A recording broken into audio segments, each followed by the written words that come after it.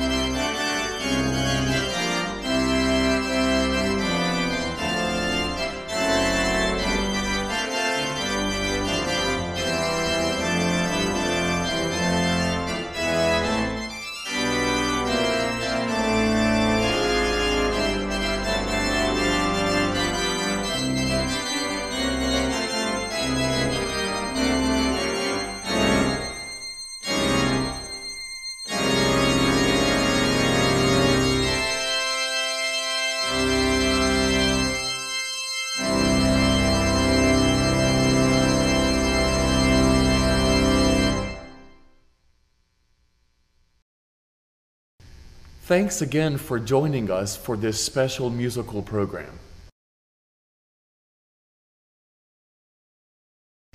To support First Church and its many ministries, please go to www.firstchurchatl.org backslash giving. And for more information about us, please go to www.firstchurchatl.org or simply call us at 404 659 6255. The number for our prayer line is 762 244 3163. God bless you, dear friends.